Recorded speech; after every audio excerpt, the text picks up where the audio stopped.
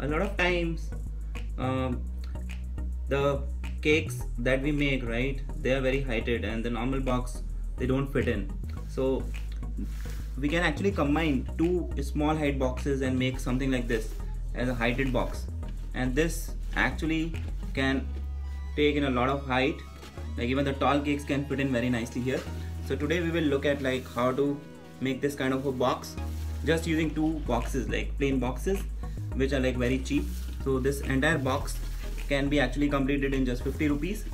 Like because these boxes just come for 25 rupees and 2 into 25 is 50 and uh, otherwise if we buy a tall box that almost costs us like 100 to 120 rupees. So let's look at how. So these are the two small height boxes that we have. Now let's look at like how to make uh, the hut shaped tall box using these so first of all just fold all the edges. Like whatever are the lines let's just fold each box on those lines. Quickly. Right similarly the other box let's just fold each and every of these lines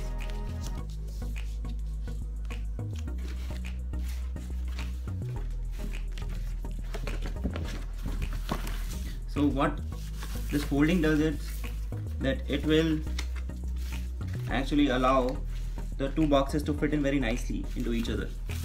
So now if you see all these lines they're very nicely folded. So now let's look at like how to combine these two boxes together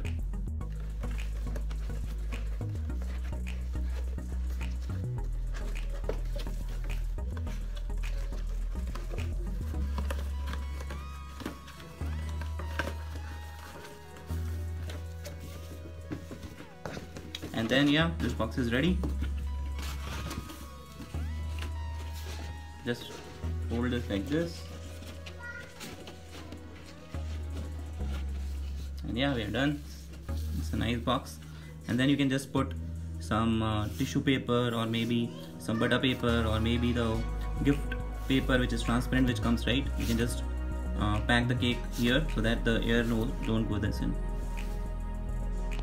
and yeah finally this is our hut ready. Like you, as you can see I have put out a uh, nice uh, um, transparent paper here plastic paper so that like the dust and the air does not go in. But as you can see now this is ready.